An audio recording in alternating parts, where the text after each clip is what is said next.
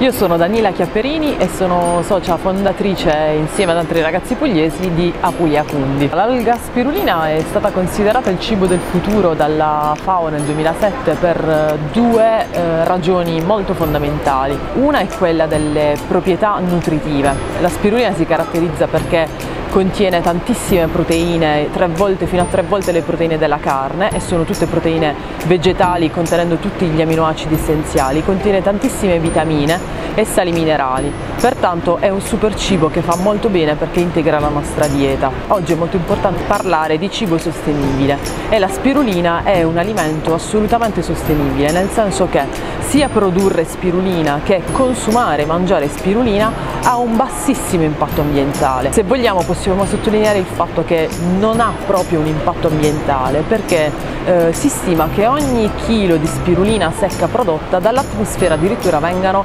catturati 2 kg di CO2 quindi è esattamente il contrario. La spirulina si caratterizza come un alimento straordinario. La spirulina possiamo mangiarla tal quale oppure possiamo divertirci come vogliamo in cucina. La possiamo aggiungere in un frullato in uno yogurt su una fetta biscottata con la marmellata nell'insalata eh, in una macedonia.